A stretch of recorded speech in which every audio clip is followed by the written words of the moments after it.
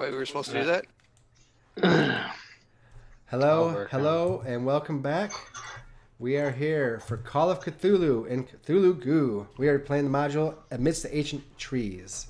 Hi, I'm Lucas. This is Lucas G Variety, and we are back. Wednesday night gaming, Call of Cthulhu style. And um, to answer the former question, we will be doing some gear. If you regular gear that you would have as your class, I'm okay with you hunting for.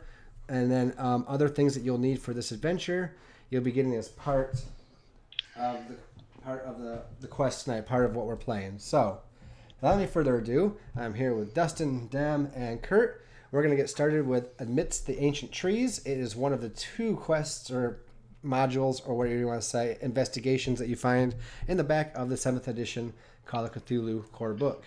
So, we played Crimson Letters last year, around this time actually, and now we're playing the other one that's in the book. So, come along in the darkness with us, get all gooed up, and let, let's go into the madness together. So, I will start by reading something. I'm going to open up the scene, let the characters introduce themselves, and then we're going to get rocking. We're just going to let it take it take itself away. So, let me undo the studio mode, blah blah blah blah, and find out I need to read you guys here.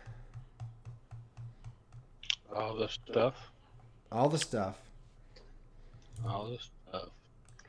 Okay. So, we open up. It's the year 1925 in Vermont. South, it's more like southwest Vermont, which of course is in America. And we are in the street. Brr. We zoom in on the streets of Bennington. The streets of Bennington are buzzing with the news and gossip about the gunfight last night on the edge of the forest. There is talk of police cars, sirens, shotgun blasts, and escaped kidnappers. The locals are saying that three gangsters were killed and two police officers were shot. Some say wounded, others say dead. Posters are going up across town saying that the sheriff is organizing a manhunt to find Lucas Strong's missing daughter and catch the escaped gangsters. Everyone in town is invited to the meeting at the police station. Rumor has it that Mr. Strong has announced a $5,000 reward for the safe return of his daughter and is willing to pay anyone that can aid in her rescue. So we find that it's like it's beginning to be a warm day, mid August, and we're, we're zooming into the small, bustling town of Bennington. And we come in on the uh, sheriff's, the police department, which also doubles as the town hall. And what we see are several cars parking outside, mostly men that are getting out, more men than women for sure, um, that are getting out, and they are trying to make their way into the police station. There's a huge group of people milling about, kind of forming this odd line that eventually kind of comes into one line as the people try to shove single file through the front door. If we follow that inside, we see people that are then scattering out to the tables and what standing room is left. And as we look up forward onto the uh, basically the stage that's at the front of the room, we see this sheriff in his middle years, this police officer, sheriff in his middle years, with a nervous, kind of overweight man next to him who's wringing his hands. And then at that point, the camera kind of pans and it turns to show us um, one federal agent, Thomas Highbrook. How does Thomas Highbrook come onto the scene? Um. Am I am I with the sheriff and those guys then? You can be, yeah, I I described all of that. Anywhere in what I described, you can already be up on stage with the sheriff. If you're talking to him, you could just be coming up. However, you want to introduce yourself somewhere into the scene. Even if that means. Oh, I'm already. I'm already on the stage. Okay. Probably either talking to the sheriff or looking around in the background. Okay. Um, I'm, I am wearing uh, probably a long black suit tie. Um, I have my hat in my hand, but um, my uh, visage is rather odd because of my face is covered in burn scars and I have no hair on top of my head, so it just coats like my whole face. Are you wearing a hat? Um, Typical of the day? no, I'm not. Okay. No, I have a hat with me, but I'm I'm not currently wearing it in, inside. Okay. Though I am trying to stay out of like direct view of people. So Okay. Tell us a little bit about like what what else you look like. Your age, maybe some other features that are distinguishable. um she's, uh oh I don't know.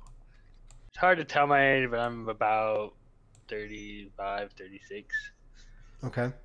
Um And and and aside, uh, do you wear gloves? Like, are they are your hands covered because of your deformity? yeah, yeah. Yeah, I have gloves on. Um probably something that matches my coat or hat and stuff and so pretty much I'm pretty much covered except for my face and head, which the only way to actually do that would be I I, I imagine maybe. or something, but Do, does your coat have the collars turned up to also hide your neck, or is that down so we can seal more of your neck? I I mean it's it's not up, but I have like a tie, shirt and tie on, so like Okay. those. Okay. So Nope, that that works. Um, okay. Um, so you're sitting there, you're talking to the sheriff, and and we, we kind of as we pan from the the the man wringing his hat to the sheriff to this federal agent that's sitting there. Um, we see the deformities and the burns on the federal agent, and then the camera, as they're talking, kind of zooms in, and we look at the the sheriff, who also is wearing gloves and his normal, you know, uniform. But we see up along the left side of his neck, similar scarring that comes up up of his neck like this, right to about the bottom of his ear, where the bottom of his left earlobe is slightly disformed. I'm like, hmm. And so Thomas is talking to Sheriff Jenkins, and we watch as the camera pans and turns, and we see where Dyer now enters the scene. Comes into play Well, here. Dyer's, Dyer's already in the room. He's he's near he's near the door though. Mhm. Um, when you picture him, he's uh, early thirties. Um, he's got a kind of a brownish hat on. Um, he's kind of got long, kind of brown grayish hair, and he's got an unkempt beard. He doesn't look. Um, normally, that might give the image of uh, crazy, kooky, um, crazy guy, but uh, this is more of a rugged. He's kind of he's seen seen some things and he's survived some things. Look, um, he kind of stands out like a sore thumb because on his back is a crossbow, is a machete, and a rifle, and a shotgun. he also has a revolver holstered on his hip. Holy he- crap! Is clearly an outsider, but he's there for a reason. And his facial expressions really show that he doesn't want to be there. Okay, armed to the teeth. Stand. yeah i'm i'm still i'm still trying to figure out exactly how he can holster all that stuff on him so that might take- magic. maybe Magic doesn't exist. such- we don't believe in There's no magic. such thing as magic. What are you talking about? we don't have you you haven't talked to dyer about that have you Not yet. Whatever. He's just some crazy, uh, crazy mountain man kook. American at that. Oh, anyway, all right. So yeah, people shuffle kind of around you now. Like, what's his hygiene like? I guess because that's not something you can see as well. I mean, we still talking dyer yeah, Yeah, are you a stinky sob? no i mean he has he has a cabin out in the woods and he's able to take care of himself but you sure, can also tell he he he gets dirty he gets yeah.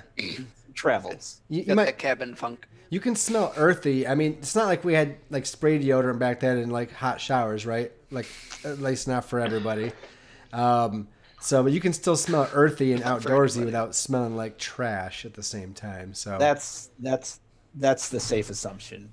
Okay. I, I mean, when you look at this guy, it's very clear he does not stay in town, and he likes he likes that. Okay. Perfect. Um, then we, as people shuffle kind of around Dyer, giving him some breath, uh, we we see how Bernard, uh, your full title, whoops, likes to enter. You don't scene. need to bother with that. Okay. How Bernard enters the No, scene. Go, go do it. What's his full name? Bernard Mowbray, Duke of Suffolk. I I don't give into the subsidiary titles, but uh, so uh, Bernard is uh, in the back of the room. Uh, there's uh, he he clearly dresses he dresses extraordinarily well, but not like probably most Americans, and especially not what this area is used to. He's in um, uh, kind of a cream linen suit, uh, three-piece suit, tie, very well kept and put together.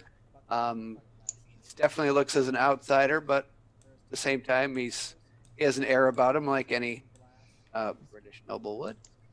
Um, he is uh, there with a concerned look on his face and interest in uh, what the uh, authorities have to say.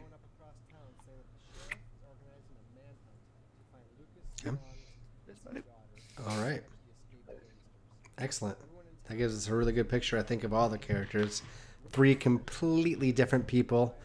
And unless Dyer and Thomas have run across each other being from the same city, no one really knows each other, right? Maybe you guys know each other in passing glance. Maybe you've heard of the name of the other person, but Uh, it's been a while. I don't know how old um, Dyer is. Okay. Um, I, I just said it like five minutes ago, but that's I'm that's fine. sorry. I heard it. You said younger 30s, Okay. Lower 30s, whatever you said, some 30s. at least one person's listening. Yay!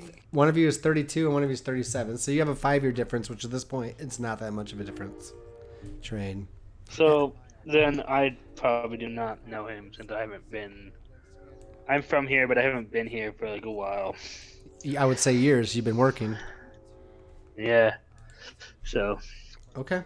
That's fine. definitely. That's fine. That's absolutely fine. Um, Are you a are you a prohi?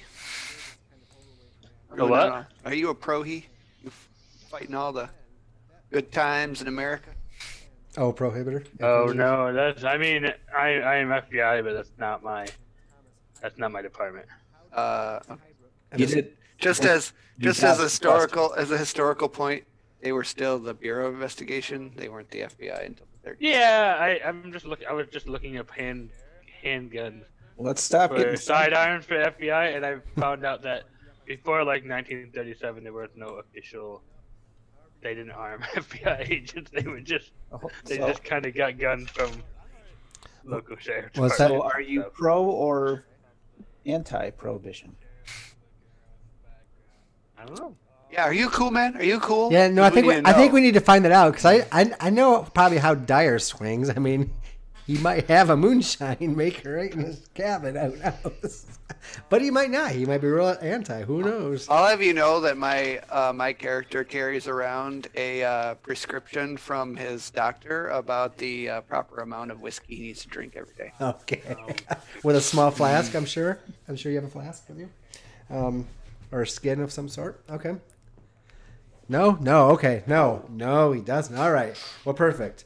That's- No, he's he's a, he's, he's a nobleman. He doesn't carry around that crap. Okay. He's got it. He does it classy. Yeah. Classy. Um. So the, the clock that's in there chimes ten, and uh, Morning or evening? uh morning. And we're gonna say it's it's a Saturday, uh, mid August. So it's days warming up. Like it's enough where it's getting enough now. Like when the nights can be chilly if you're not proper protection and you're outside, but the days are still rather warm. Um.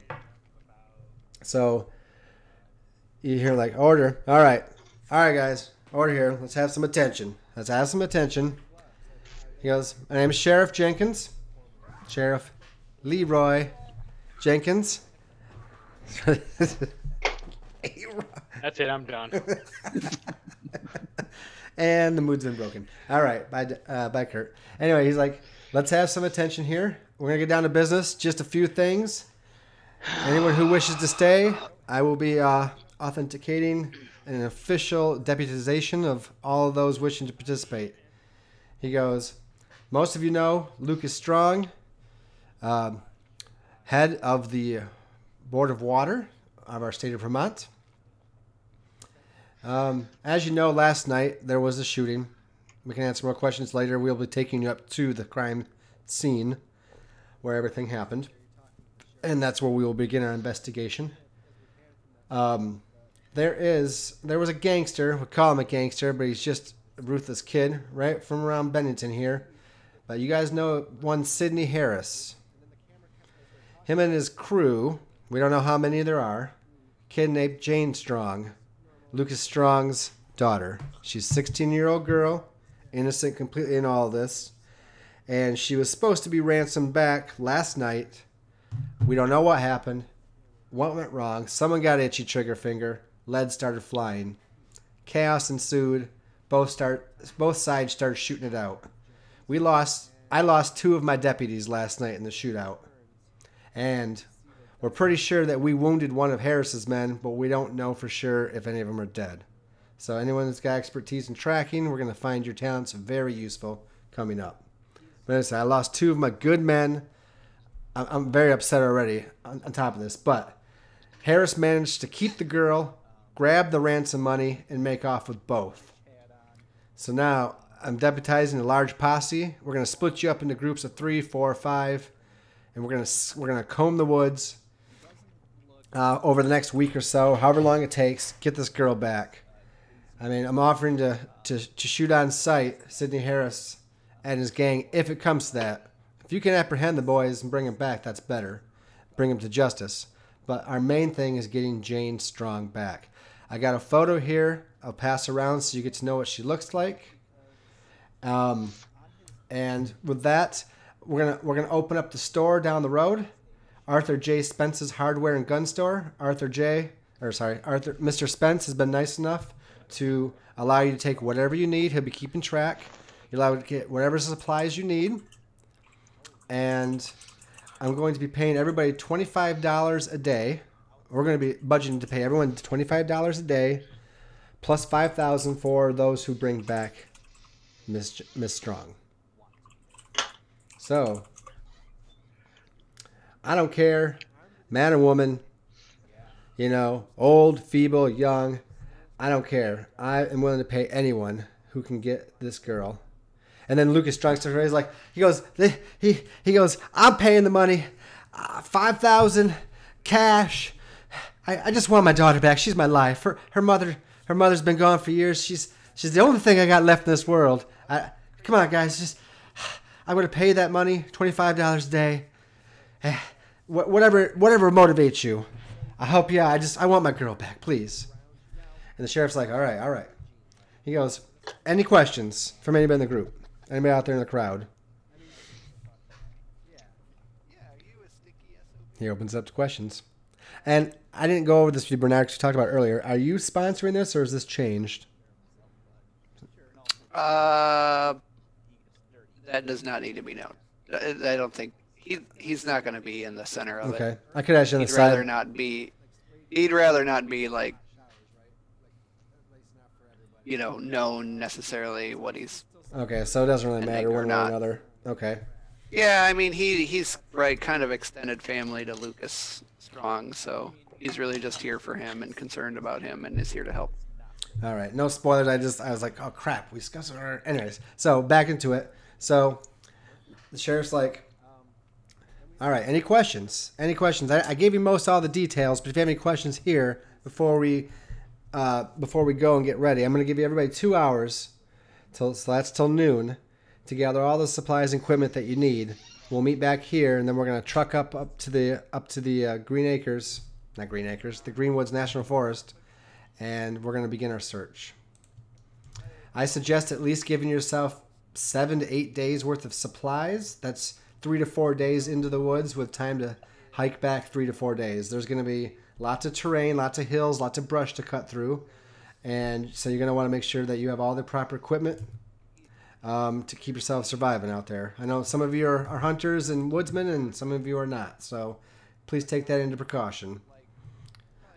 So I ask again, any questions? And he goes, he, he looks over at Thomas. He's like, he goes, uh, what do we call you, agent? Would you just call you agent? I don't know. Agent Highbrook? Goes, agent Highbrook, anything you want to add? Any any ideas, any things? Um, there's gonna be a lot of people out there. Don't just start shooting people at random. Mm-hmm. Be careful. Mm-hmm. It's it's nigh coming on. Oh, go ahead, Kurt. Oh, just fine. That's good advice. It's it's nigh coming on hunting season as well, so there might already be hunters out in the woods. So, recommend you grabbing some uh some some bright colors, maybe to throw over some of your some of your drab drab gray clothing there. So, but anyway, Arthur J. Spence's store is open. Get guns, equipment, camping gear. So if there's no more questions, um, go ahead. I'm gonna. I I, I kind of got everybody's names. So we're gonna do a, an official deputization right now, and basically he has everybody raise their hand, and he he swears off an oath that he has everybody repeat. You know, you know until this process is done, I deputize every every man and woman here uh, under the authority of the uh, local Bennington Police Department and the uh, state police of Vermont to um, blah blah blah blah authorization for all these things to find Jane Strong and bring her back. So and he swears everyone in through the deputization process. And what was I going to say after that? I think that was about it. He goes, All right, come back here, noon. He goes, Oh, wait. Come out the door. We're going to group you as you go. That way you can start getting to know the people that you're going to be hiking around with for the next few days. And uh, yeah, there we go. So people start filing out. So Lucas Strong, like, catches your eye, Bernard. He's like, oh. you know, kind of like, "Yo, Bernie!" No, I was kidding. Just kidding. No, I'm. Uh, I, I, I, eh, when people start filing out, I'm gonna go talk to Lucas Strong. I'm gonna go up there and chat with him. County police. There we go. Okay, deputized for county police. So you make your way up, County sheriff. or yeah. Shut up. All right, so you make your way. Um, oh man, private conversations are killer. So people start filing your way out. Like I think I would see, and I mean, you can tell me if I'm wrong, but I think Dyer would kind of press himself against the side as people shuffle out because he doesn't want to get caught up in the in the wave of people going out the door. Yeah. Does he have to sign up for anything, or is he just going right to this to whatever group?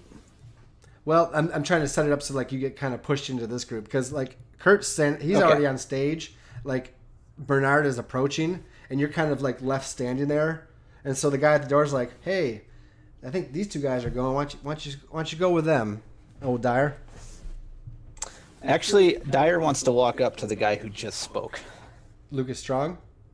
Yeah. Oh, okay. No, that's perfect. So it's going to be maybe a couple scragglers that are talking, but basically it's going to be you three, Lucas Strong, and the sheriff. So go ahead. I'll I'll sit back and respond to you guys. Well, Dyer walks up to Lucas Strong and is like, You send my group into the forest. Don't send anyone else in there. Well, the sheriff's like, "Well, I'm, I'm, I, you see, I got a whole room, a whole posse, a whole station full of a posse. Why would I not send more? The more area we can cover, the better." No, that's not true. Have them search in the town in case they get back. You don't need them in the forest. He goes, "I'm absolutely not going to be following that advice. Uh, whatever you're, I haven't seen you around. Dyer, right? Dyer. You even got a last name." Well, I suppose if if you want to send them there, then uh, I can't stop you. Uh, just say I did not give you uh, a good good bit good fair bit of warning. So, What? What's hey, so, sir? I mean, it's going to be dangerous, obviously, because there's gangsters out there. He's already turned. He's- he sheriff looks over at, uh, at Thomas. He's like, "Yeah, I'll let you make sure you keep him under control." By the way, he's gonna be in your group, I think. Yeah, sounds good. Oh, what? You got to keep Dyer under control because he just gave someone the cold shoulder. Yeah, the sheriff, of course. no, it doesn't mean he's going to, but you know, I think that's appropriate response for the sheriff. Why not? Anyway, let's get Bernard to come All up here. Uh, so uh, Bernard um, says some words of comfort to, to Lucas that you know we're gonna find his we'll, we'll find his daughter, and uh, I'm sorry I had to come to this. I'm gonna go out there personally. Um, really? Bernard is clearly shows some excitement for going out there. Like this is something he's very interested in, and kind of has an eye a bit for it. Um, Sure. uh, notice uh, Dyer gave a pretty good impression to uh, Bernard, and so uh, he quickly makes his uh, excuses uh, uh, to Lucas and chases after Dyer. Like Lucas is trying to catch up with your conversation. He's like, "Oh, oh, okay. Well, you're going out. Wait, really? Do you think you?" And you're like already gone. He's like, "Oh, oh okay. Thanks, friend, cousin, right? Whatever." Wow. Okay. Not really. so Bernard- Bernard gives the cold shoulder and it's like, bye, friend. Dyer gives the cold shoulder, keep an eye out on him. These are these are two different people. Though. You did it to the sheriff. He did it to Strong. But anyway, You want me to go back and role play why I know Sir Lucas? I can do that too. No, that's but fine. You could figure it out later. And, and plus, I'm also forgetting that Dyer has like five weapons on him. yeah, he's armed to the the sheriff was probably like, "Fucking hell, what's going on here?" They would know you by your guns alone, probably, if not by your face, right? um. So as you're catching up to Dyer, uh, just quickly, Thomas, what's up with you? Um, Dyer's proclamation has me wondering. So I kind of Mm. tell the show I'm gonna try to tag along with him and see. He He goes. seems to know something. He goes. Yeah, you, you got the crazy woodsman and what looks like the epitome of a city boy. I think that you might be a good go-between. Lovely. Be careful out there. He goes, you, you know, you see anything unexplainable, you know, just get the hell out of there. okay. He he If sh- you see anything with that me. could later become a cult phenomenon of horror series, you let me know. but Good. sh- sh- sheriff shakes your hand like real, real hardly. He's like, "I'll see you in a couple hours." Okay. Okay, go ahead, guys. And I head outside All right. uh, after the other two. Let let Bernard catch up to Dyer here, and then Thomas can come in after that. Yep. All right. So I'm uh, gonna walk quickly up to Bernard. This me. Excuse me, sir, my good man. Trying to get walked your attention there. Bernard. Yeah, I'm I'm going up to talk to you, Dy- Dyer. Yeah, Dyer. you said Bernard. That's why I threw me off. Bernard's going up there. Excuse me, good man. Uh, turns around. I'm gonna help you, sir? I introduce myself. Uh, hello, my name my name is Bernard Mowbray. Uh, clearly a very thick uh, or, or an English accent. It's it's very obvious. Um, you probably being uh, not familiar with a lot of English accents, you can't really place it. But he um, says, "I'm very concerned for for Lucas. You see, uh, his uh, sister, I know, she married a distant family member of mine, and I'm terribly concerned for his daughter. And you look like you're the kind of sort who knows his way around these woods, and I, I want to help. I want to be there. Uh, he, again, has some undertones of somebody who sounds very excited to get out there and do his thing. Um, so, whether your impression, I'm, I'm going to leave this to you, is your impression of he's just an overeager uh, foreigner or not, that's obviously up to you. I, I, I put. Whoops. I went into another character for a second. It's not apocalypse world. Know. um, so Dyer Dyer uh, extends his hands out to to shake his hand, um, and and you can when he extends his hand, you can see he's he's got a lot of scars kind of on his hand. Um, it's nothing severe, nothing notable, but it just kind of you can tell he's outdoors a lot and he's he's been through some fights and stuff like that. He's like, uh, my, my name's uh William Dyerman, but uh, I just go by Dyer. Th- those fools going out into the forest, they don't know what they're getting into. Uh, that's why I recommended uh, they keep them out of the forest. If anyone's going to find the kid, it's going to be me. If, if you want to tag along, uh, that that's fine. I just want to. I don't want too many more people. If if there's going to be some kind of uh, some some kind of party. Well, I'm with you, and I'm not a stranger to the woods. I used to hunt a lot back home. Uh, the only one is just me and my man, Meadows. He'd be coming along to lend a hand if that's all right with you. Suppose that's fine, but um, have you hunted in these woods? Admittedly, no. I haven't been to, to the States much, but I'm anxious to see what uh, these, uh, this country has to offer. Fair enough, but um, I, I- I'll I'll tell you now, these woods are not like the woods like where you're from. I know. There's ominous tone from it. Like close-ups on the eyes, they're shifting. Like, what? All right. I think Thomas catches up around this time. I probably I was gonna say Tom probably caught up by now. Thomas, Thomas. Um, you haven't met Thomas. Thomas. you been kicking ass as the ambassador to France. what? Sure. When you said Thomas Thomas, I immediately thought of the Hamilton soundtrack. Sorry. Please continue. Oh.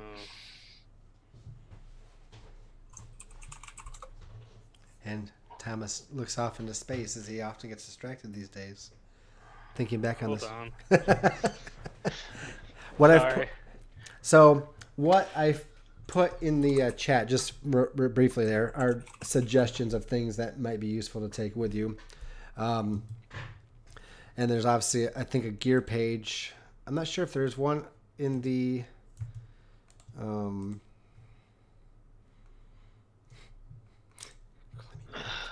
Jeez. I um uh you lost my train of thought. Uh, I don't know if there's a gear page like stats and stuff in the player's handbook. If not, um you got the if I don't know if you guys have the core book. There'll be stuff there. Okay, I'm, I'm back. I'm sorry. It's, um, suddenly blue flashing lights outside my window. I was seeing there was something I need to worry about. What'd your kid do now? And which one is it? No, no, it's What'd you do? somebody- didn't do anything. I was... Jenny, no. Anyway. Anyway, you catch up to these two guys about that time. Hell no. As I um come out the door, I uh I let out a whistle and my dog comes up behind me. Oh gosh. I gotta kill off an animal now. Anyway, what? What's your dog look like? You're not gonna kill an animal. Oh sure. No problem. Um so uh I come up to them and see them chatting and I uh approach them and say, hello. I'm going to join you. My name's Thomas. Agent Thomas, pleasure to meet you. Bernard Mowbray. Hello Bernard. From come off a bar, haven't you? I have, admittedly, but it's for a good reason. And you're Dyer, I gather? Uh, Dyer extends his hand to shake. He's like, "Name's William Dyerman, but Dyer." Good to meet you, William. Dyer. Just packed to the teeth with guns. Let me just remind that. And your dog comes running up at this time. What kind of dog is it? It's uh, it's a black lab. It's uh, uh, it's full grown. I haven't decided how old it is. Uh, Fine. but he's got, but he's basically a typical black lab dog. He can be well, well behaved and trained though. Fine. So. Um. Di, you seem to have concerns about other people going in the woods. There, you know something you should know? You're gonna be wasting their time. Why is that? It's uh, not the easiest to navigate those woods. Uh, best bet is uh, with someone like me who at least uh, lives out there, knows the ins and outs. These people are just going to get lost. They're going to run in circles. They're better looking elsewhere. I mean, I grew up around here. And Not, not saying I know the woods as well as you do, but Uh, with all due can't say respect, I'm, I'm a stranger to them. you'd be surprised at how. And and he he kind of drifts off for a second, like he kind of spaces out. Quickly, the forest can change. Well, don't know if you noticed, but I think I might. You uh, have residence in these woods? Hmm, not in a long time. Uh, I did have a accident in and near them when I was younger. How long ago was that? Oh, think back. How long ago was that, Sir Luke? Uh, if it was a childhood accident, I would say be- between the ages of probably like eight and fifteen. Uh, go with the younger side and say I was ten. Ten, so you would have been twenty-seven. So ten years ago would have been nineteen fifteen. Or I'm Uh, sorry, you were uh, ten. uh. You would have been like twenty-seven years ago. You're off by another ten. No, you're off by a decade. Yeah, friend. like Yeah. it's like I, I did my math wrong. It was like twenty-seven years ago. So it was like Hmm, about twenty-seven years in ago. the late '90s. yeah, for the turn of the century. About 27 years ago. I don't you, I don't know if you heard about it, but you've been younger than me when it happened. You lived around here. Uh, apology to say I, I- I don't recall the story, but I don't really pay attention to other people's business. Um, Uh, you, you might have been in these woods. He kind of spaces out again. 20 years ago, but. And he looks back and was like, these woods change faster than you think. okay, Mhm. I'll just have to take your word for it. Shall we? I, I, I suppose we need to get some supplies. Uh, the sooner we get back into, um, the sooner we get back into Green Mountain, the happier I'm gonna be. Okay. Head over to the supply depot. All right. So you enter uh, Spence's guns and or supplies and guns, right?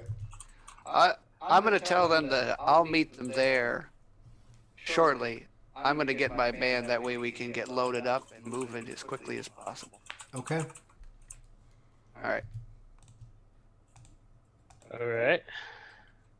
you guys can do your thing. I'm just gonna type out what I'm doing. and then give it to you later. Alrighty. So, in the chat, I've put like a list of things that might be, you know, and and they're gonna be heavy packs depending. Like if you guys just take like blankets to sleep in, that's not that's not that's not too bad. But if you got like an actual tent, it's gonna be like you know oiled cloth on stakes. That'd be really a lot heavier. So you guys have to make the distinction of kind of what you're gonna take and start recording on your character sheets a little bit. I mean, I'll keep some notes as well. Are you planning on spending the night? You're gonna Of course. I mean, they said to gear up for like three to four days into the forest and then three to four days back. So whatever you, however far you think you're gonna go in, you gotta double that because you gotta travel back out. I mean, you're gonna. So I mean, yeah, it's you're going in for what could be several days at a time. Okay.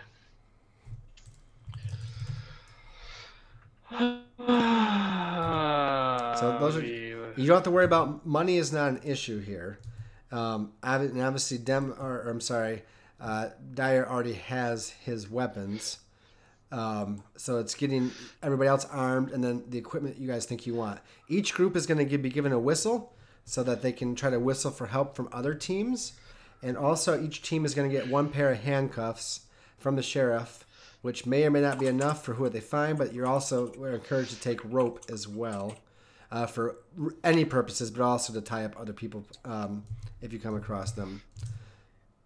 Um, are there any of these items that Dyer might already have, considering he's a he's a woodsman? I would think that's possible that you could have a lot of these things. Um, food I'm supplies or. I mean, you know, I don't know if you'll have an electric torch, which is the flashlight. Maybe you would. Uh, you probably would have. I mean, I, I'm leaving it up to you here. I just want you to make sure whatever you think you are it. And for Bernard, if your man is going to carry it, I guess put it on his character sheet since you have access to it.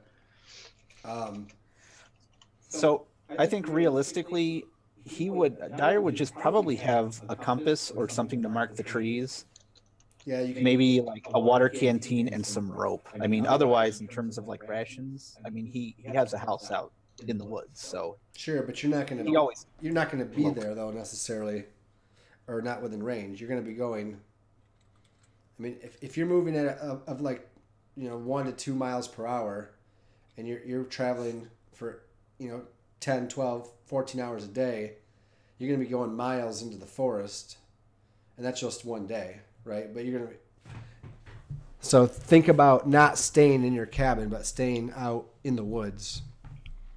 No, no, I'm just saying, like, I think maybe just for him, maybe we can have the marking stuff and the compass. Mm-hmm.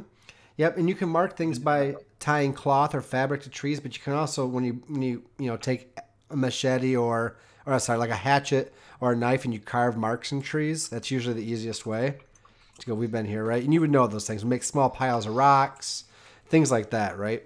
Like you you, you would know to do those things. So yeah, whatever you think is appropriate. This is for you guys um, to do. And like for rope, I think it would probably come in segments of like twenty five feet. Um, but someone someone needs to mark down a pair of handcuffs, and someone needs to mark down a, a whistle because you get you get one. I, I What? okay, nothing. So you guys Gonna I probably did have hand handcuffs, but you can have handcuffs already if you think that's appropriate, but you guys will get another set of handcuffs and a whistle. So you just need to decide between the three of you who's going to carry the extra handcuffs and the Uh, whistle. I'll take the whistle. But if somebody else wants to carry the cuffs, that's fine. I, I can carry those. Uh, yeah, I would say with Dyer having the compass, a water canteen, and rope, in addition to all of his other stuff, he's pretty much Set. Yeah. What about sleeping necessities like like uh sleeping like roll? Did you say that? Or He'll sleep on the floor. He'll sleep in that on the ground. Uh, like as long as you have a fire going, because it does get chilly. It Yep. does get cold enough at night that it can be dangerous if you don't have some type of warmth. Like it's it's just late enough. I'm gonna Like I mean, if you have I a, put down. if you if you have a fire going and sleep by the fire, you don't necessarily need a blanket. Otherwise, you're gonna want a blanket, right? Just just to put it. out I uh, I put my stuff down. Um, I was thinking though, I should probably take a rifle. What kind of rifles are available? Um, see, nothing that would be like like there's no Tommy guns, right? There's like no semi-automatics. Well, no, no, nothing illegal. Um, No, I mean it's just They're not illegal. They're not illegal. It's just it's a small town thing, so anything that'd be harder to get, like or you find in bigger cities.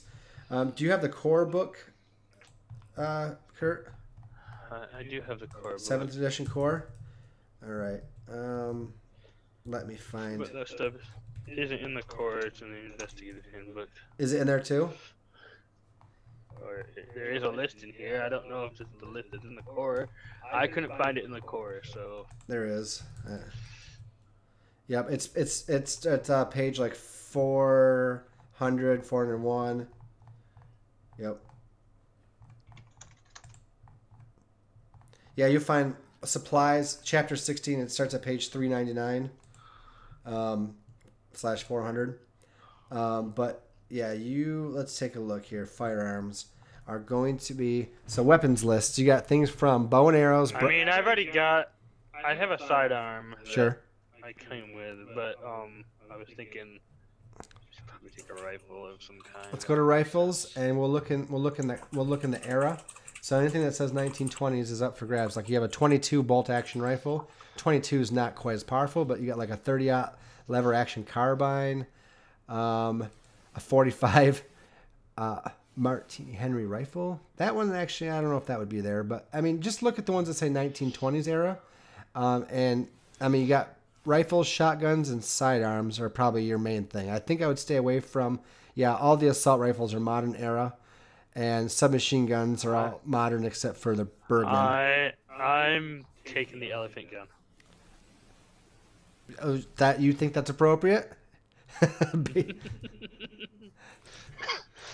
Well, Why is there an elephant gun in this town? yeah, I don't. I don't think that's. I'm gonna say that's one of those. You can make. How about this? If you really want one, you can make a luck roll to see if there's one there.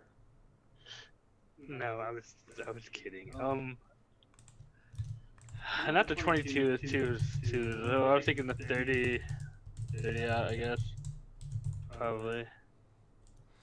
The 30 level action carbine. Probably Sure. Okay, and then I'll do that. and then ammunition.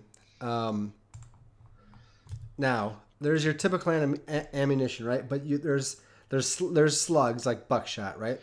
Um, but there's also pellets or so-called bird shot, and then you also have something like Not No. not for rifles.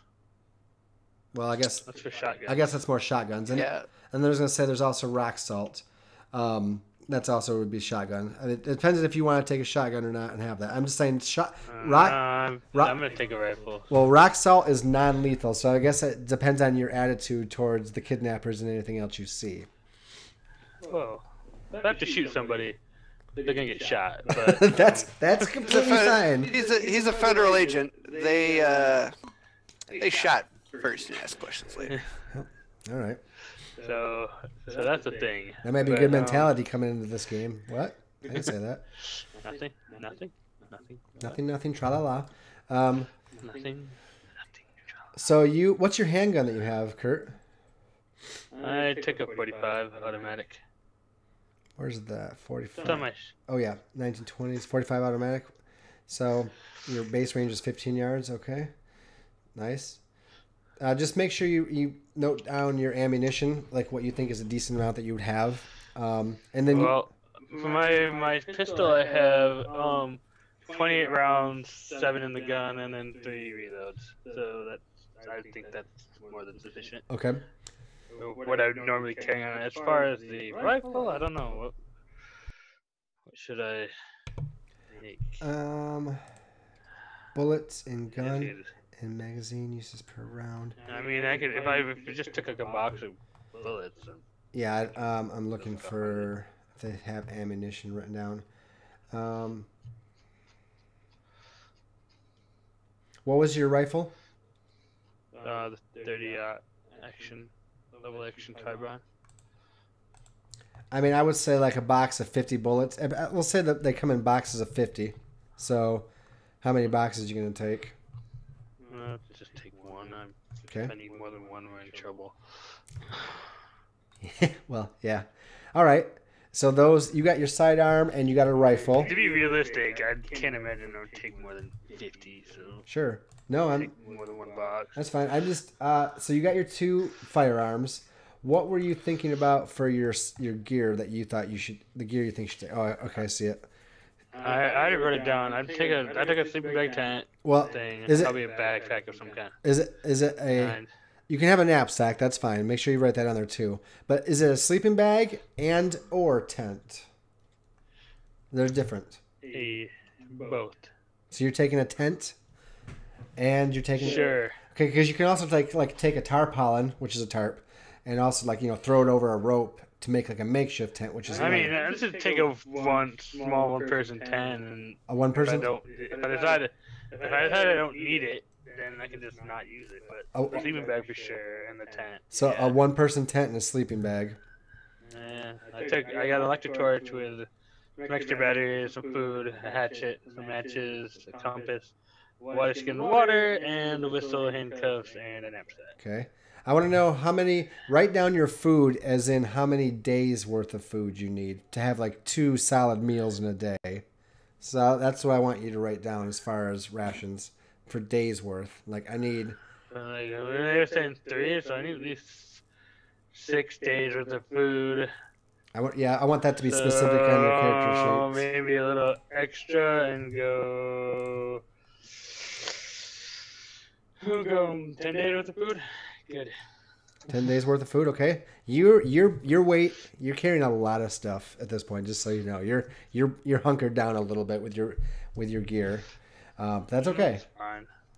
Um, Fine. Uh, this is just for moving around. If, I, if, if we get someplace where I have to dump something, I will. I'd rather take too much and have to leave it than okay. like not enough and then not have it.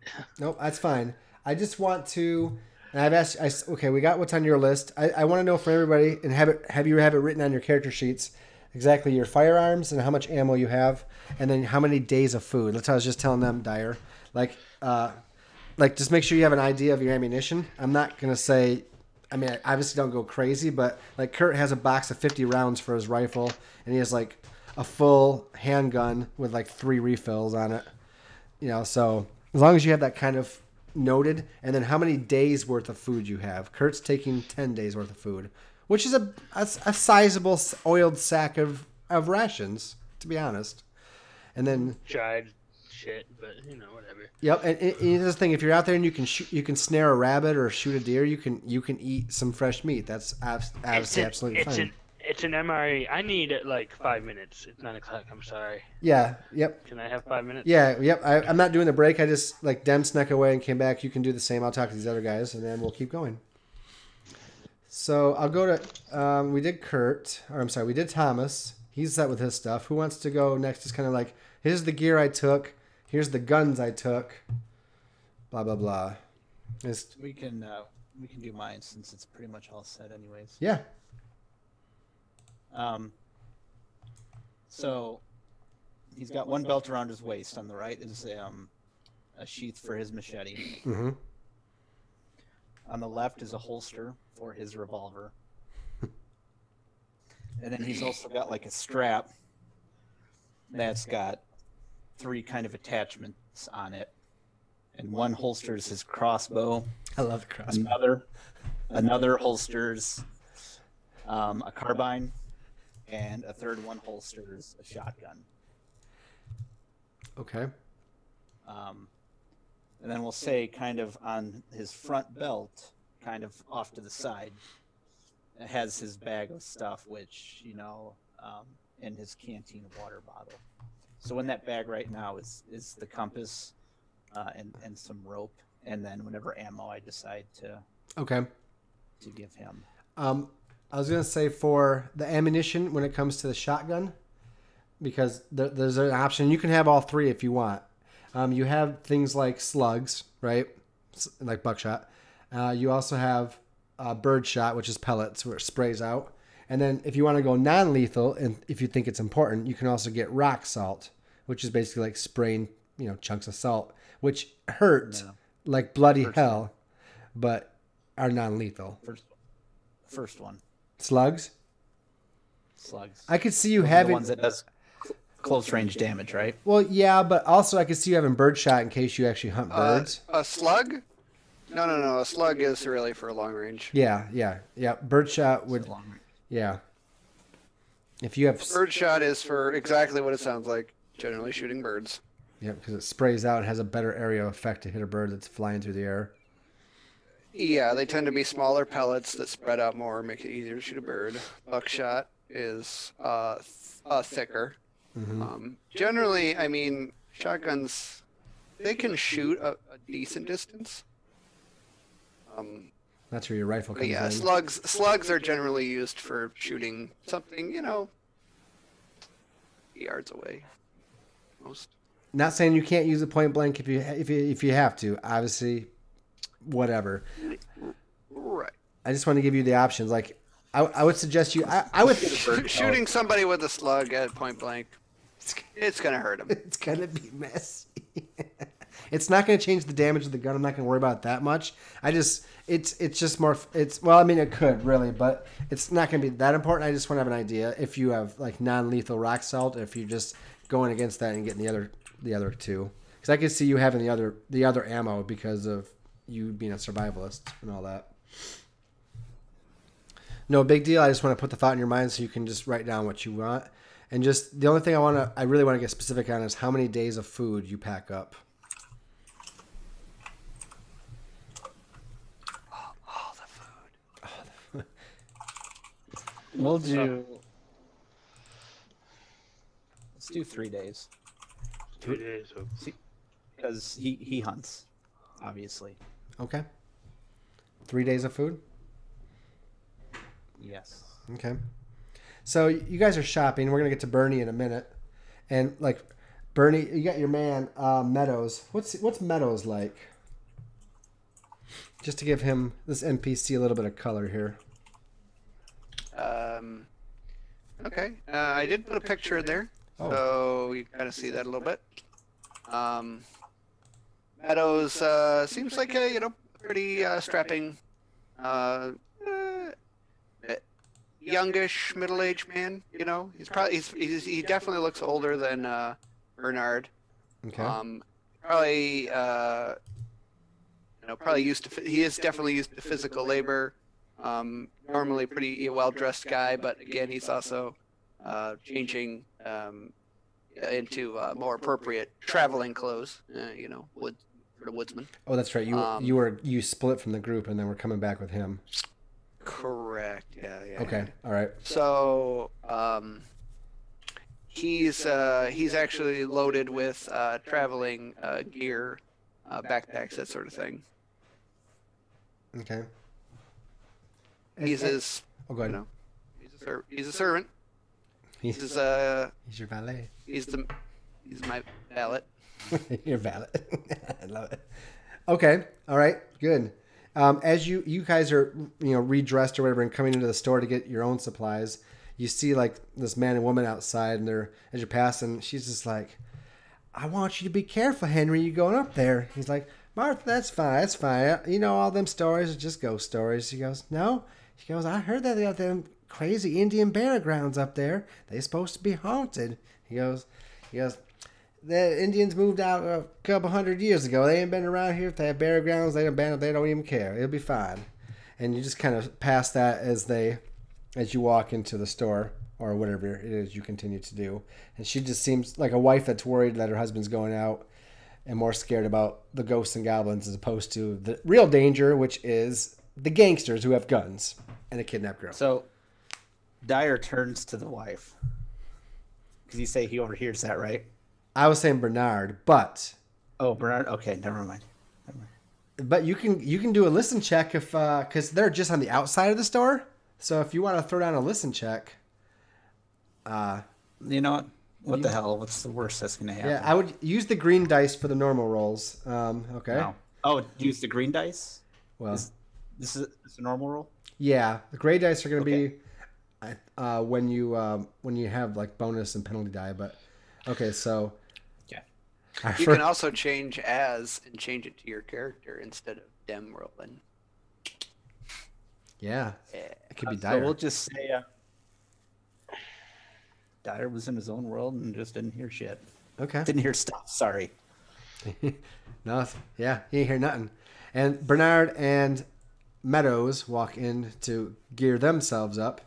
Um, Thomas, you're like you're you're hefting. You're talking to. Uh, you find the, the owner himself, right? You're speaking to. Oh man, I'm not on, not on the right page anymore. Let me find this module. Well, I'm always on the right page, so good, good, good for you, sir. I gotta. f- sorry. I have to get a better PDF. I'm not happy with this one. Okay. Better than uh, the book. Yeah, it doesn't have like when you can click over and you can get all the chapters and exactly where you want to go. Like it doesn't have that. So Oh, you can put that. You can put bookmarks in if you really want them. Yeah, I- I just- have the. I have it and I'm lazy. But you're right.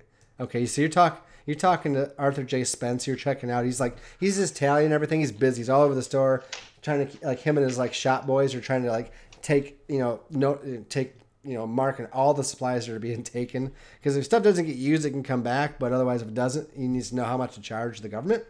And uh, so you, Arthur is like seeing to you right now, Mister Spence, and he's like, he goes, agent, huh? Bureau agent, way out here. Yeah. Well, wait. I'm here as a favor. I guess I guess he's maybe old enough. Like this guy might be old enough. Like he might remember you. Do you think is this a guy like you would know? Like he's been the shop owner for like. Uh, I, I'm, I, that's kind of up to you, man. I, I, I, I think I don't. No, I mean it's up. I mean I'll, I'll say yeah if you say yeah. I mean I like that idea. I'll say yeah. All right. Sure, yeah. He's yeah, like- he probably remembers me. He goes, ah, young Thomas. ah, You come back for you come back for this manhunt? Is that why you're out here, or are you just back visiting your, your folks? Uh, I came back as favor to the sheriff. He, uh, he called me this day or so ago and asked me if I'd come out and give him a hand. Oh, I think that's great. I, I mean, especially you being a bureau agent. I mean, you you know the law, you know what to do. He goes, uh, he goes, that's that's great. He goes, just he goes. I heard lots of rumors of things out there, you know, besides gangsters, and I don't know if any of it's true, but you know, weird stuff happens out there in that forest. So you be you be careful out there. I mean, you got your trusty dog, that's good, but I heard, I know this is just rumor, but you know, I heard that, that you know they got uh you know, watch out for the ghosts of old Civil War deserters, you know, defectors, when they when they try to hike out of the U.S. to get to Canada, right through Vermont's woods. You know what I'm saying? You ever heard that rumor when you're growing up? Them them, them Union soldier ghost stories. I mean, I heard, I've heard a lot, most of those stories. Most of them turned out to be bal- to be malarkey, but you know, Yeah, that one probably still is. go around. Dyer, you can you can overhear that one if if you if you wish, because you're in the store with these guys.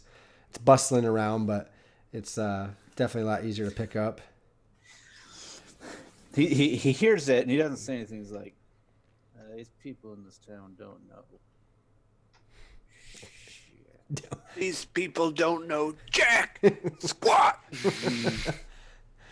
Squat. That reminds There's me of. living Or down they living in a van down by the river. Mm-hmm. I mean, you hear another. Caravan. Excuse me. You're living in a caravan down by the river. Yeah, see what I did there? You hear some other guys like, I wonder if that Sidney Harris that's out there found that Sasquatch. I heard Sasquatch lives out there. I don't know. I mean, if it's the Sasquatch, but there's some big giant furry man. I wonder if they got Sasquatch on their side. I mean, he could be holding the girl, running off with the cash, doing all kinds of stuff. Who knows? I mean, these are so there's just Bernard really doesn't give these stories any mind. He's used to crazy villagers who always have rumors about ghosts and other stupid Oh, stories. oh, it's so Let's typical. be honest. Back in England, same shit. Yep. Oh, it doesn't change. Those pe- these. Oh, I mean, same crap. Yep. These stories are It's the okay. same. That's a lot for prime time. I, I, I found that out. Ah, yep. It's it is prime time and it's adult. It's TV, MA for mature audiences. Some sexual content, alcohol use, and violence. Wait, what? I just put all the things up there. Anyways, so you you hear these and some other rumors and other things going around. Um, you hear the the Indian burial grounds one again that comes up. Um, you hear the, the you hear the name Joseph Turner come up, which was more specific part of the Civil War story. Yeah, uh, uh, supposed to be definitely a Civil War deserter, a defector. Um, the Sasquatch thing, though, that came up already. Well, as long as is it Joseph Smith? No. American Moses. Uh, and then I always forget what's it called. Um, there's rumors. Oh, the creature that's in the forest. It's usually, I think it starts with Sasquatch, no. It's like starts with a W. I think Wendigo. Wendigo. There we Wendigo? go. Wendigo. Wendigo. yeah. Wendigo. Wendigo. Wendigo. Not werewolf. Wendigo. Wendigo. Yeah, w- somebody brings up the Wendigo. Wendigo. Yeah, I heard the Wendigo around here flies people up in the air and burns their feet off and drops them and they die or they don't die and they just go mad. So yeah, you hear all these rumors as you're gearing up. And last one I get down here was Bernie. Um, how much food did you take? What kind of guns did you get? What kind of supplies did you end up shacking onto your man Meadows there? Okay, so uh, uh, Bernard's got uh, he's got the handcuffs that I mentioned. He's got some rope. Took a glass lantern. Uh, he actually has some binoculars. He carries a notebook and some pencils. My man, he's got uh, the bedding, the tent. Um, he's got all the food rations. How much food? Well, he's gonna have to take a lot because it's carried it for himself and Bernard. All right, write down however many days of food you think you Twenty days worth. there we go. So that's ten and ten. Um, yep, and uh, Bernard's the one who's carrying the weapons. He's got a shotgun, which he seems very comfortable with. Again, Okay. uh, from his time. Sure. Time. And just as a sidearm, he decided to get himself a nice Colt 45.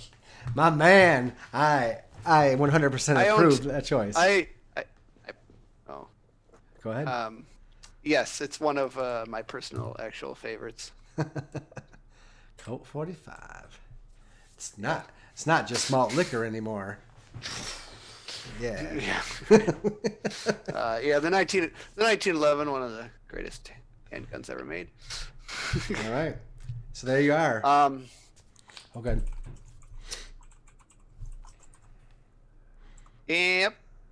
You guys all equipped up and feel as though you were ready? Sure. No, I don't feel like I'm ready, but you know, Why not? because I feel like I'm gonna regret not taking something. I just want to take everything.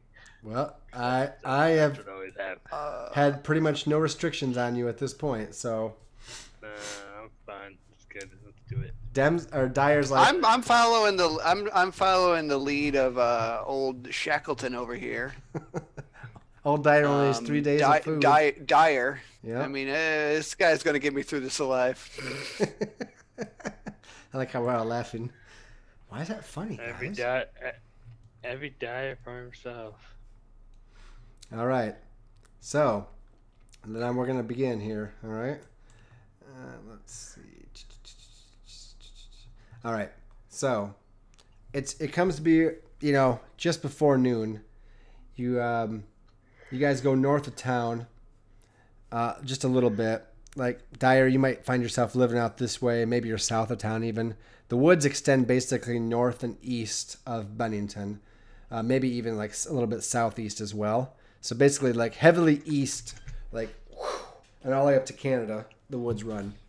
So, you it's it's a huge, huge national forest, like just hundreds of thousands of acres. I don't know, thousands and thousands of acres. I don't even know the right. I mean, I could Google it, but I'm not going to. So, um, you get up there, and you have all the different posses. We'll say there's probably like ten different posses, each between three and five men, um, all geared up in their various ways. You guys are one of that number. And sheriff's like starts pointing. He's like, "All right, you guys are gonna go out that way. You guys are gonna start this way." Um, you're one of the first group to be shown your starting point. Um, and you guys start out right at the scene of the shootout on the previous night. The site is newly formed, is a newly formed clearing about hundred yards across the edge edge of this clearing to the forest, forming a, a wider area marked for logging. All right. Um, a dirt track from the main road heads over a small field to the edge of the clearing. It's littered with short stumps and a few piles of fallen tree trunks, and then surrounded by tall looming trees that stand close together. Scattered over the site is evidence of the events of the previous night, and you guys can see it as you get up there. You're seeing shotgun shells and bullet casings, bullet holes in tree stumps, and uh, a couple. Well, you probably see some heavy laden blood stains as well as we get there. So you guys get there, and he's like, the sheriff's like, all right, you guys going this way, you you guys go that way, fan out, you go that way. Remember, you got your whistles, all right. He goes, and you guys, he goes, Thomas, you know, you guys, if you would, start more on the southern side here. Take the old logging path. Not necessarily take the logging path, but I think, and he gets closer to you guys, he goes, I think that's it's it's the closest spot to where the shootout was. You know, he goes, I have the most confidence in you, uh, and also old William there. He goes, so as far as just getting the man and tracking him and everything, he goes, if you st- on the southern side, I mean, follow the tracking, but this is where the site of the crime was. I think they headed east right into the forest here. I think you're closest to where the crime started, you know, where the scene started, and uh, I want to give you the the opportunity to, to make the best headway. All right. Okay. So go ahead, and he's like, "All right, y'all, start your investigation." I don't want to say I'm gonna I'm gonna head out with this with uh, Mr. Strong himself. We're gonna do some uh, peripheral searches around here for some other clues. I got some other business. He goes, "Come back as soon as you can. Y- you know your duties." So, any further questions? I'll, I'll be hanging out here for a few minutes. And I'm gonna let my cat out of the room. I'm gonna let the cat out of the bag. Um, otherwise, what do you guys want to do? We lost our tracker. Where'd he go? you, you guys immediately are find yourselves somehow back in town. You're like, wait, what? what? So, We lost our tracker. all right. Well, you are basically put right in the middle of the crime scene. So, mm-hmm. oh, okay. So tracker's back. I'll reiterate. He's he separated all the groups, and he kept you guys to the southernmost side of the groups as you go eastward into the forest. Um, he started you closest to the, the the crime scene where the shootout was, and thinks that you guys are probably the most positive group as far as with your expertise. So he wants to give you kind of the, the head start in what he thinks is the best best tracking area. So you you find yourselves in a place where there's definitely gun casings, shotgun shells, and you do see some blood stains, where it's obvious that the police officers were gunned down. So across a short clearing of, of cleared trees with stumps, the forest begins. What do you guys want to do?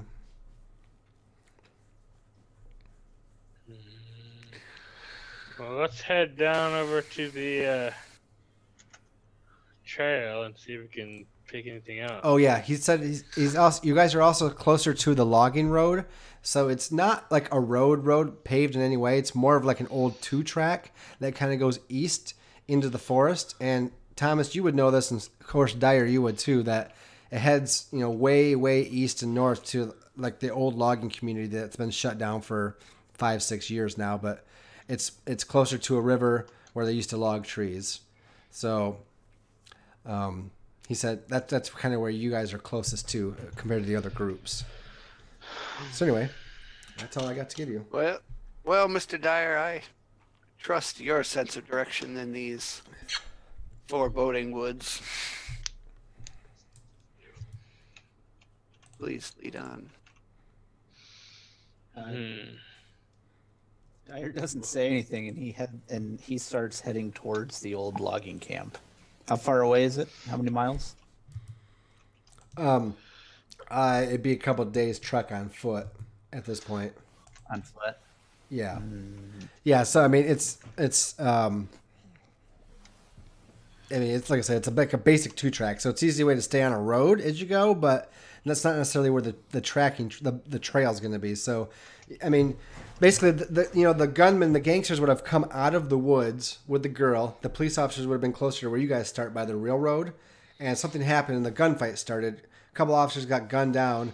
The gangsters grabbed the money, kept the girl, and ran back into the woods. So you got to find obviously tracking is very important here. You got to try to look for blood, footprints, whatever, because they they did say that they felt that they definitely shot one of the gangsters at least. So it's up to you guys to start tr- to find their trail basically into the woods. Um, I'd like to do a track roll then. Yes, please. And anybody else that has tracking or wants to may attempt as well, um, or you can leave it to just your tracker. now I you mean, I can try to track. you can push the roll if you tracking. like Dyer. If you're like, no, I th- really think he would get down in the dirt and really get down, and you can push the roll if you'd like to and do it again. If you fail again, then ill consequences.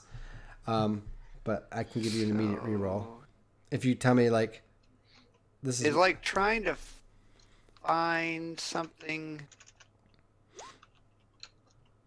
What spot? oh man, your track is a value of fifty. Okay, So spot hidden So would, any not, of would not be like below trying to find 70? blood and stuff, right? No, no. Spot tracking is trying to find a specific trail and track through the woods. Spot hidden would be trying to like I want to try to find blood footprints in this immediate area or something in the immediate area, and I'll allow spot hidden as well. Go ahead, Dyer. Oh, okay. Dyer. No, I was just asking. Or do we have this set up so any of the rolls go below 70? Oh, wait, did I do that right? Yeah, you. You you rolled the wrong one, but No, that's fine. it's it's still the same roll, and you rolled a thirty-two, um, which is under the value of sixty-five. So yes, Oh, So- I'm half under. Is that good? yes, you want to be under your roll. Uh, you actually have a hard success, so you do very well. Um, Okay. So you guys start to follow where you find, like at the edge of the woods where the gangsters would have been. You see several shotgun shell casings and some rifle casings, and as you step in, like Dyer kind of like goes in off to one side, and I'm not sure. I think you get lost in a previous thought about the woods or something, but you kind of phase out again, like you have been a little bit, or however you want to explain it. You just you can't track from it because you get lost in a memory or a moment, right? So We'll we'll have um, Dyer. He just starts kind of going in an erratic search. Not erratic like he's frantically searching, but like he'll take a couple steps to the right and then he will go to the left, and then mm-hmm. he'll turn around like he's he's tracking something, but it's, he's like it's he's in his own world and he's just kind of like going in circles. he's tracking his own thing, not necessarily this specific thing. It's his own thing, whatever that is. tracking something. Something. He thinks he is. Yep. And then at Bernard, you Meadows next to you, he's like, Roy, uh, this this the man we want to follow? Well, eh, uh, let's hope America has a whole lot more to offer than this gentleman. Okay, and that's when you look down and you see a nice spot of blood, a sizable spot of blood on some like low growing brush. oh, oh, within the uh, brush is the the blood. J- just within the, in the wood lining where there's some low growing brush that you can easily step around, like you know, like small wooded woody things that grow like to your knee or waist high. Um, you you see like on a on a, leaf about this big, you see a nice splash of blood, and another one below that on the ground. All right, I call it, gentlemen, gentlemen over here. I think I found what we're looking for, Okay. I come and look. and I show them the blood. Ooh, blood.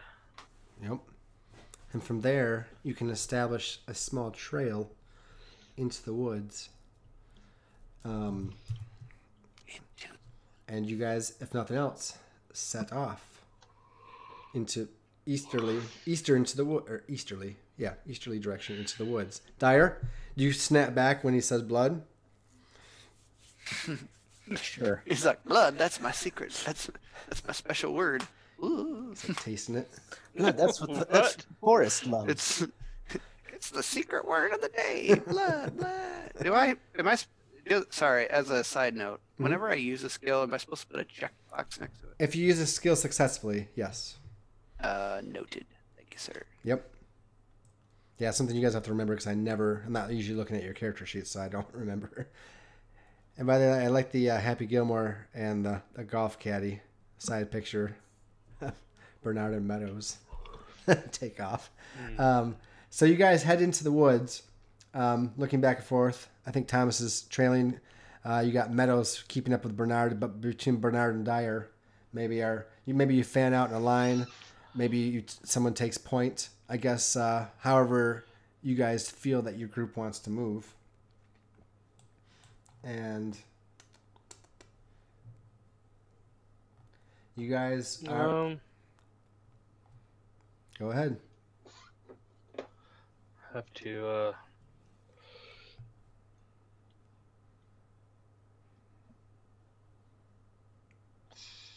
Which direction are we moving then? What? I was asking them, which direction are we moving then? Oh. Buddy? That's Dyer and Bernie talking to, not me. Dyer's just kind of looking around. Um, gentlemen, I'm you're the experts here. Agent, tracker, I defer to your expertise. We should probably follow the blood trail as much as we can. So uh, let's see if we can follow that. All right. Uh, I think that's the wisest course of action. sorry. No, that's. I mean, we're, we're getting off the ground here. So you guys make your way east east into the woods, and you see the trail does not go in a straight line. It goes out into the road. It goes back north into the forest. Sometimes across the road into the southern There. part. Um, you go for There. what? Sorry, I was gonna ask if they're like trampled um trees and or brush and stuff, and like if somebody's panicking or we just Yeah, I mean, because it seems erratic. A little bit erratic, yes. Um, it does seem to wander off, whether they're doing it on purpose or panicked. You're not sure. Um, if you want, How to, far have we gone? I mean, I'm gonna say you've you've been. Let's say we'll, we'll give you like an hour into it, right? As you, you Okay, follow- um, I'll say Agent Agent Harbrook. I'm Mhm. no expert in this area, but we've been following this blood trail for an awfully long time. Does it seem a bit odd that this person's probably lost a lot of blood and they're still going? How much longer do you think they can actually go? I don't know. It's uh, it is odd.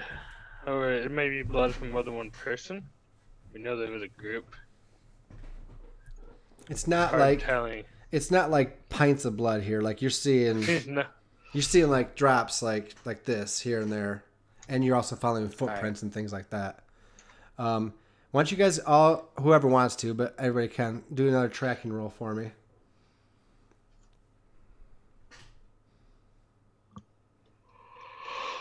I'll give it a shot Yeah, because I'm in this game too. tracking skills. Ah.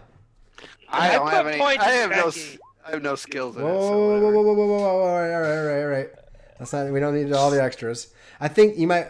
I think your. I think your tracking skills should be higher than fifty. Dem. I would recommend that might be an adjustment we make. But Well, it'd also be nice if I could roll something underneath a 70. yeah, but your skills are fifty, right? It is, but Okay. So get even if, get even if I put points in, it wouldn't really help. get two d10 and roll it on the desk. I don't. I don't have die. What kind of role play are you? Get out of my house. Wait, what? Kurt, you always gotta do that. Anyways, let's go here. Let's let's keep her moving. Okay, you guys lose the trail, and you find that you're lost after a while. Oh, good. Lost is good. Another couple hours go by. It's probably about one or two in the afternoon. My cat is being annoying. Oh, I'm here. I'm listening. Sorry. Um. no, my cat. I gotta chase her down. She's starting to be annoying. Throw something at her. All right. I'm gonna throw something. So her. I have a pretty good sense of navigation. Um, Yes, and you can if you use a compass, I'll uh, give you a bonus die in it too. But oh, I didn't. I don't think didn't Dyer's a bad compass. tracker. I just think he's. I have a. I have. If I have a compass, if you want to like ask for one, you can Yeah. see me consulting, and I'm probably using it. If you use Oh, if you okay. if you use a compass, you can roll a bonus die, which means when you roll the navigation roll, roll the gray die instead of the green one. Okay. All right. I'll say, uh, Agent. I notice you have a compass there. You mind if I take a look? Sure. sure. All right. I just realized my So, navigation. just so I'm not just going to start rolling navigation, what I'm trying to do here is um, basically use the directions that we were going to see a general direction that the trail was, and see if I can kind of figure out that direction that we went versus where the trail that we've obviously lost is. Okay. That's what I'm trying. That's what I'm trying to do. right? Okay. I'm not just going. Oh, I'm gonna roll navigation. No, no, I like the explanation and the reason why. All right, here we go. My navigation's actually pretty high too. It's weird. Nope, you uh Yeah, I success. did that. You found that the more the trail you last knew was north of the road, and you find that you guys are south of the road going east right now. So you're on the south side of the road. So you figure you might have to double back a little bit to to regain the trail at this point. All right. I explained to my Mm-hmm. partners that oh, it looks like we've gone off the trail, but uh, if we double back around over that way, pointing towards the direction, I think we can get ideally back on track. All right. Do I know what's over there? What's that? I mean, do I have a general idea what's over there or anything? I mean, we need a logging camp. I guess what I'm asking is how well would I know? You maybe went there once as a kid, and maybe it so wasn't there. well. It wasn't there where it happened, but like by truck, you can get there in a few hours. Like most, you know, good, Mhm. good almost days drive. Um, but hiking, especially through the brush and the ups and downs and all the stuff, it's gonna it take you a couple days to get there. Um, so yeah, it's mostly north and then it goes east later on, right?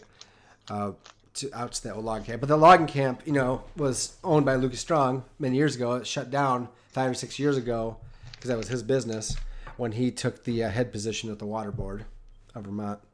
So you guys are. What kind of businessman shuts down a successful business? Wrong with this guy. Something's fishy going on here. Yeah, yeah. Um, I mean, you can. I mean, if, if Thomas is sharing that, or if you've gathered that information from your research or whatever, I mean, you. Well, I guess he's semi-distant family, right? So you would probably know that. Or Uh, yeah, sorta. I mean, how much is a brother to a cousin's wife really mean much? I, I guess you would probably. I hear- met him. I mean, you I would. met the guy. Yeah, at and- probably the wedding. Sure. But and you, we're not close by any stretch. Sure. I guess it would just be your curiosity of who the person is in general because you're curious to know, not so much because people outright tell you. Well, no, I mean, I never realized until I, I let's say my character didn't even give it a thought until I was like, that's the old, that's Lucas's old shut down logging when that he closed down when he took the job for the state position. Mm-hmm. I mean, where I, I don't know how you Americans do it, but from where I come from, Yeah, no, I mean, we uh, don't walk away. We don't walk away from success. Nope. I understand. I, Saying it with a moderately condescending tone. yep. well, check that. Says Meadows. Great. Oh, there. All right, so the agent tuned out, and the track and the uh, the woodsman there, who never really gives two craps No, what I have to no. say. No, what I was gonna say was it so successful when he shut it down? I've, I haven't been here in a long time. I don't know. I don't know if. Would you have known that? I mean, I'm not sure I would keep track of. You know, I probably would have. Parents probably would have said something. Oh, they shut the logging thing down, but I- maybe not why or anything. I guess I would say you can do an intelligence check, an intelligence roll. Um, Okay. I mean, I'm sure because of my history, I kept an eye on the news from this area, looking for weird things. But this I would. may, this probably doesn't. I wouldn't say that's You know. weird in the category of weird that you're thinking of. No, no. But in keeping track of stuff, I might have garnered some Oh crap! That's extreme. It was information. shut down exactly. Extreme That was intelligence. the logging company was shut down exactly six and a half years ago. it was successful. You need a, you need like a uh, like a sound effect when something extreme. It's like, you know, extreme. Extreme. Hmm. I agree. Anyways, Anyway, so yeah, Shut I'm down- just thinking like because I kept track of yeah. just area that it's just kind of I know this because I've read it Mm-hmm. while doing this. So yeah. Nope, you would. Okay. It was shut down six and a half years ago. He had a successful business. He helped his employees. Well, he didn't actually help them find work. He basically gave them a severance package and said, We're done here. I don't need to do this anymore. What you heard. And he's like, I got elected to the board water position. I'm set for life. And this is my passion and what I want to do. And he's he's a goal work oriented man. He didn't want to double up and own two uh, run. T- I, I don't think. Here's the thing. He works for the state. Maybe he couldn't run this while he was also working for the government. Maybe he had no choice. But instead of selling, he just shut it down. And he dove into his work. And he's been doing that for the last six years. And then until recent events have just occurred where he's put all that aside because he wants to find his daughter. My understanding is he shut it down because he didn't want to uh, sell it, and he also didn't want to uh, run it anymore and try to run the other things he was doing. I don't know. That seems like something, an odd thing to hold on to, shutting it down. I mean, did give the employees a severance package, but it seems like it was better to keep them employed. Yes, a man in a position like his has a responsibility to more than just himself. Hmm. So, yeah. oh, go ahead. Can't say that I disagree, but not what we're here for. So Hey, we're just making conversation as we're trekking Yeah. through the woods. no problem. It's about two in the afternoon. It's been about four hours into your journey.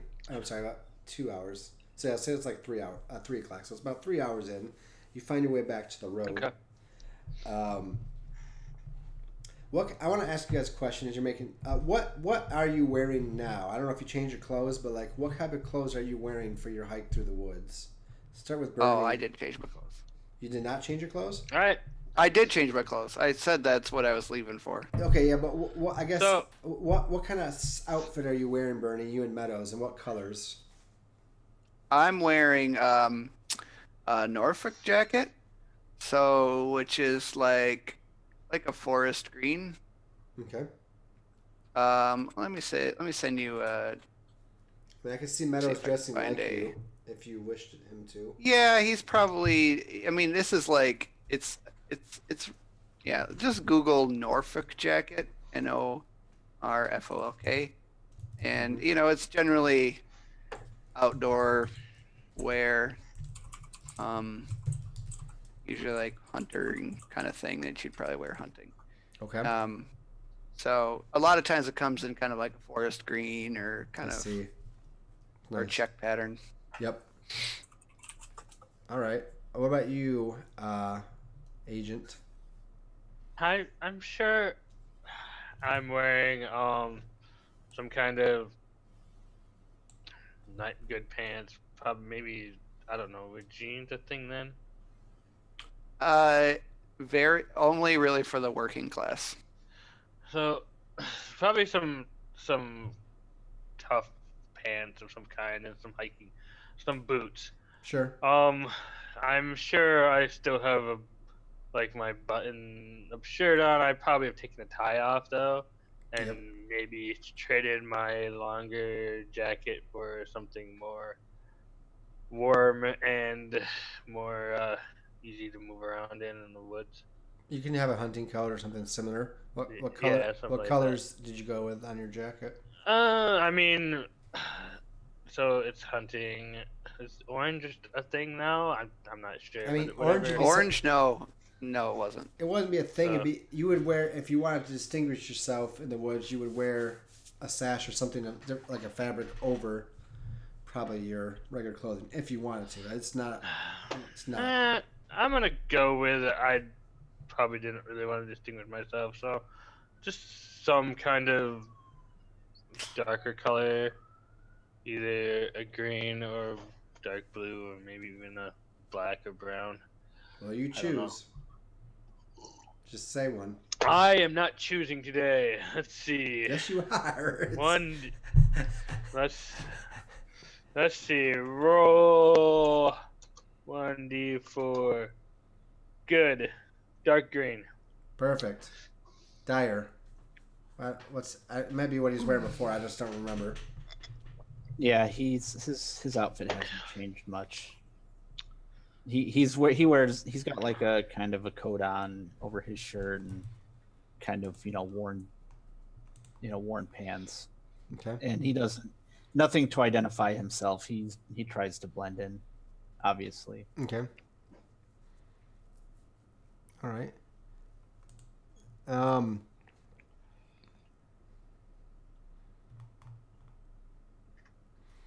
Okay, so depending on what's better for you, you can do a tracking or a spot hidden. All, all of you guys.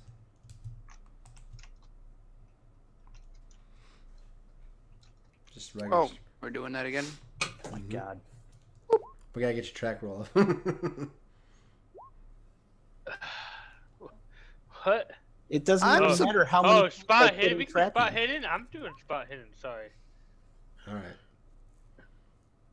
I was gonna say, I'm like, I was supposed to be following you guys. Why am I getting all the successes? I don't know why I'm a huntsman at this point. Should be someone else altogether.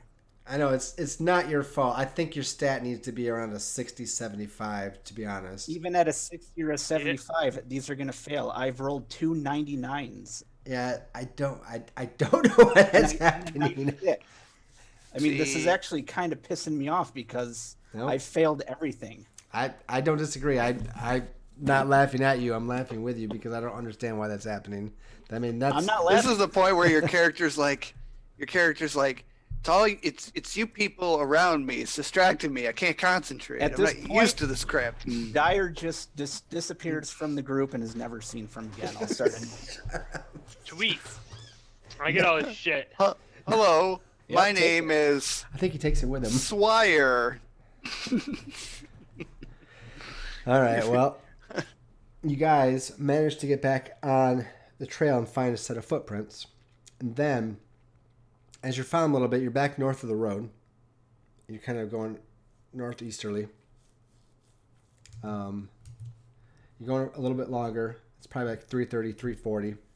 Um, it's it's get the the trees are are pretty thick here. They're big. They're large. Um, there's some thick underbrush sometimes it slows you down and then i'm going to call for listen rolls from everybody at this point Ooh, that's a new one. Listen, listen, listen.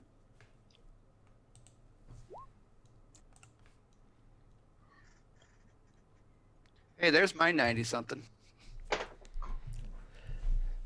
bernard is dyer's you know is leading See, your problem, Dem, is that you're rolling as Dem. You need to be rolling as Dyer.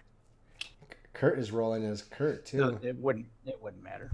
not rolling as thomas which you Thomas can, Thomas. you can change it under the little gear at the top but anyway Mm, Yeah. so thomas Or Down as at at the the, bottom. bottom, there's a drop down. It says. Yeah. I oh yeah there we go Just hadn't gotten to it. Sorry. Um, Thomas, they're just making small talk. You're tracking, you're keeping your, your eyes peeled, and then somewhere up ahead, probably like 30, 40 paces, like over a small rise, you hear a piece of wood or like a twig snap. Let me ask you a question. Do you have your dog? Did you bring your dog with you? Heck yeah. Because I'm I, I'm not going to remember that, so you're gonna have to constantly remind me. And I don't I don't know Oh, if I'm gonna have. You have. got you- a old, you got a old hound dog. No, I, he's a he's a black lab. What's your dog's name? Spike? Oh, You know what's weird? Growing up, we had a black lab named Spike. My parents. Mm, That is very weird. I did pick black lab because we had a black lab when I was younger. I swear you did it to me on purpose. You make it hard for me to be mean to your dog. But anyway, So yes, I have. So Spike is definitely with me. Spike goes pretty much everywhere with me that he can.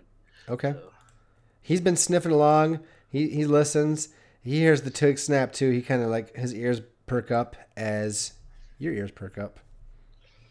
I kind of hold up my hands. I don't know where I am. I, are we? Who's in front? Who's in back? That's up to you guys to determine your marching order.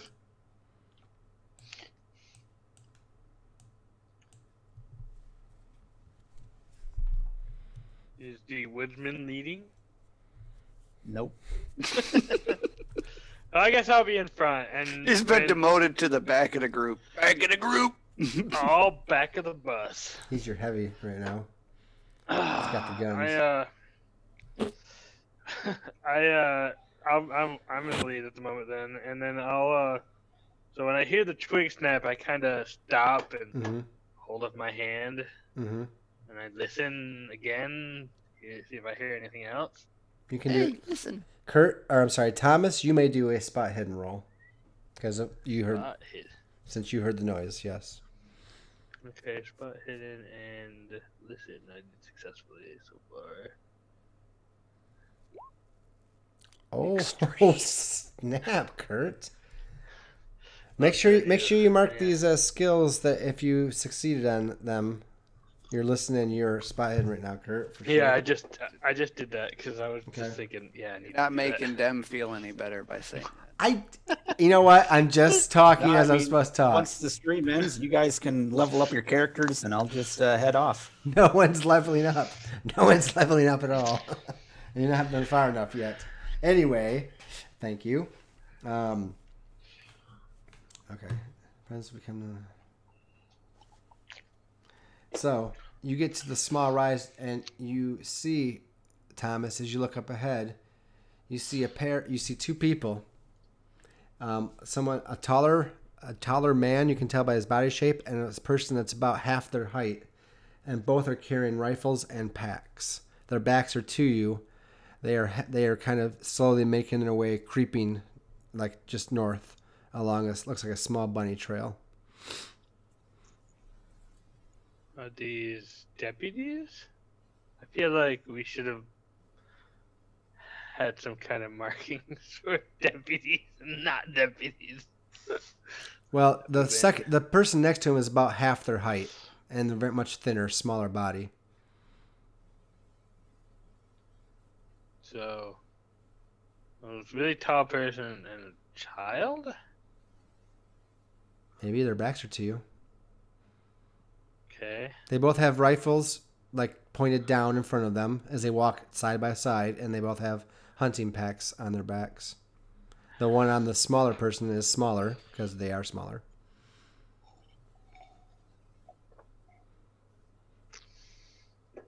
Okay. I just watch them for a minute, see what they do. They creep. You see the small one, like look up and like it's like and they they're not their backs are to you like I said and why don't you go ahead and make a uh, well I mean I, did you, you said you stopped Yeah, I stopped and kind of just watching. It looked like to me, it looked like people were just hunting, and I'm not sure. Presumably, if he stopped and he's staring at something, we too would notice him stop and staring at something. Well, Yeah. I yeah. So I kind of, I guess I would gesture them. I Mhm. kind of turn and put It- my finger to my lips and gesture them up. Okay. Uh, in response to that, I'm going to take out my binoculars and look at these guys, or in that direction. Yep. You guys both see them now. Spike's being very good and watching. Uh, Meadows is standing by your side, and you can definitely tell it, it's it's a man. He's got hunting gear on, and he's, a- as you look at the side of the small kid looking up at him, you can definitely tell it's it's a young boy. Um, you know, maybe between ten and twelve, from this distance you can tell. And uh, yep, Uh, okay. So I think yeah, I'm gonna. How far away are they? they're about third. Uh, I'll say they're about like forty paces, forty yards. Alright. Let's uh, let's hail these two hunters. Do you hail? Yes. They're startled, like, oh, and they, they turn around, um, their guns lowered, of course. You're like, you're like, whoa, don't shoot, don't shoot. Uh, Don't have my gun up or anything, do I? No. No, I mean I don't have my gun even out. Mm, I'm kind of holding the rifle. Well, I guess I do I- have a shotgun, but I mean it's just like I mean, I have a I have the rifle, but it's like I have it kind of cradled in my arm, pointing down. I'm not Sure. really having it. He turns around like he's got one hand up, he's holding his gun down, but his other hand's up. He's like, what? You know, he said, don't shoot. He's like, hey, hey there. Hey, And they, they start, nobody's ki- gonna shoot. they start kind of like, he's like, he tells his, like the, the kid comes around, his gun was like halfway up and his, you know, the, the man like puts his arm down and like pushes the boy's gun down to the ground. He's like, all right. And he's like, Hi. And they start ta- taking some steps towards you. Do you guys approach them? Yeah, sure. I mean, I do. Yeah. Okay. He comes up and you have to see it's a man, and he's like, he goes, he goes, hi, uh, uh my name's Alistair, Alistair Lawson. This is this is my boy George. Here, um, I'm I'm Agent Hybrid. Uh, we're out here looking for the lost girl. Maybe you heard of her. Agent Hy, Hy Agent Girl. What are you, what are you talking about? We're we're just on a hunting trip. We're all we're we're out here from Boston. Oh, there's a there's a city of well a town of that way, and uh, a child was abducted from there a few days ago. We're part of the search party out looking for her. Oh, he goes. You talking about Bennington, right? City back there. Yeah. He goes, we stopped in there before we came out, but we've been out here for better part six days or so now. So, wow. He goes, a girl, girl got kidnapped. Yeah, the ransom demand that went wrong. You two hear anything, see anything funny? No, we haven't seen, heard anything, anything odd, nothing. a matter of fact, I mean, we, let's say we're on a camping trip out from Boston with with our neighbors. My, my buddy Brian and his 12 year old boy, he's a couple years younger than uh, George here. We're just a couple of dads wanted to teach our boys how to hunt. We've been up here, like I said, almost a week. Um, and we, we stay closer to the Bennington side, but Brian and his boy they went they went deeper into the forest about I don't know, three days ago. And uh, Seen him? he goes, no, no, we, we split up. We've been kind of keeping an eye out for him, but I haven't seen him. Uh, let me correct that. They've only been out there for three days. Um, wait, besides Roman try. Okay, one second. He okay, let, let, me, let me say this. They've only been out here for about three days or so. About yeah, a day ago, the other two went off just a little bit further in the forest. He goes, "No, I haven't heard anything. Just an occasional like diesel truck running somewhere out to the east, probably running up some some back road somewhere. But that's about it. We haven't ventured that far into the forest as of yet." Well, I have to warn you. There are people who are after that are hiding in these woods that are armed. You might mm. want to think about cutting your trip short. Oh no! The kid's like, ah, "That's okay, Dad. I'm ready to go back i- i- i- if you are." Sure, sure. He goes, "All right, all right." Probably do that, but um, anybody can make, if they wish. Let me look at a character sheet here. Psychology? Psychology is something you can make. Um, definitely a psychology roll can be made. Psychology real sucks. I'm good at persuading people, though. I'm, Uh, I mean, psychology is not sure. necessarily a heavy stat that uh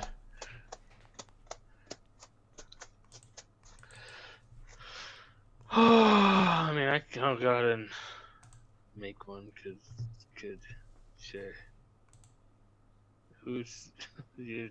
What are you trying to psychology them about? I was trying to do. A, I was trying to be Meadows there.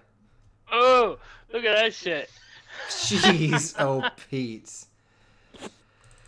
All right, you can tell that the boy, the boy is quite frightened, and it's not of you, not of you guys. He's just, he seems to be a little unnerved.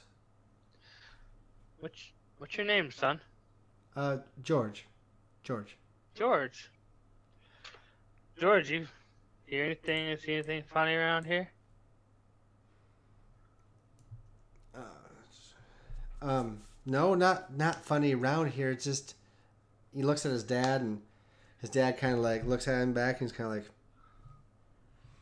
and the boy's like, my dad and I both having some real bad dreams, just kind of spooky dreams. Last couple nights when we were out here, but I don't I don't really remember what they're about. Just just kind of weird. Wake up kind of, you know, twitchy, edgy, son, edgy, E- edgy, edgy. That, that's it though. Mm-hmm. You know. Sure, nothing in particular in dreams. What stands out? Sound, maybe. They both seem kind of reluctant to say more, but you can tell they're with your hard roll. I mean, you can definitely tell that they're holding back. I will attempt to persuade them. Persuasion allowed. There we go. Success. This is better than the Harry Daggerdine. Holy crap! Private investigator. Okay, so what do you say?